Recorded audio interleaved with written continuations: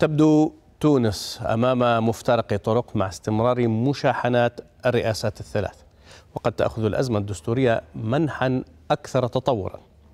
فحركة النهضة تقول إن اطرافا تدفع الرئيس قيس سعيد إلى تفعيل آليات دستورية ليس لها مقتضيات شكلية ولا موضوعية في الوقت الحاضر. على حد وصف رئيس كتلة حركة النهضة في البرلمان عماد الخميري. من جهته تحدث النائب عن قلب تونس عياض اللومي عن أن هناك محاولات لتفعيل الفصل 80 من الدستور بما يمكن لرئيس الجمهورية حل البرلمان. وسط هذا المشهد المحتقن يجدد قيس سعيد اتهامه لأطراف لم يسمها بعرقلة جهوده من أجل حل مشاكل البلاد.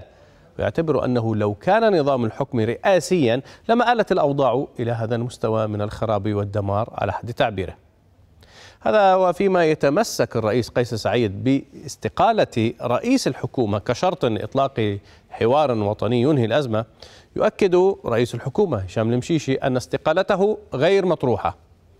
لم تتأخر النهضة في إبداء تمسكها بالمشيشي رئيسا للحكومة واعتبر زعيمها راشد الغنوشي أنه لا يرى دافعا لتغيير الحكومة الحالية. الخلاف الرئيس بين رئيسي السلطة التنفيذية ما زال يراوح مكانه لنحو شهرين. فالرئيس قيس سعيد ما زال عند موقفه الرافض لاستقبال الوزراء الجدد لأداء اليمين الدستورية بسبب شبهات الفساد التي تلاحقهم كما قال. خلافات في كل اتجاه ووسطها يبدو صعبا تطويق أزمات البلاد المتراكمة.